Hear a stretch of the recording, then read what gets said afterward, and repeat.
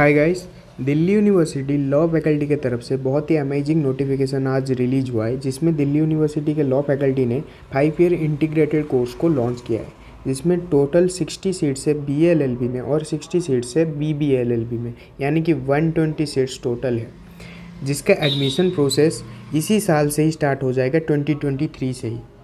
इसका admission procedure में जो क्लैट का एग्ज़ाम जिन लोगों ने दिया होगा उसी के मेरिट के बेसिस पे इस साल इसका एडमिशन प्रोसेस स्टार्ट होगा। इस तरह के अपडेट्स और लीगल नॉलेज के लिए हमारे चैनल लॉ लर्स को सब्सक्राइब करें। धन्यवाद।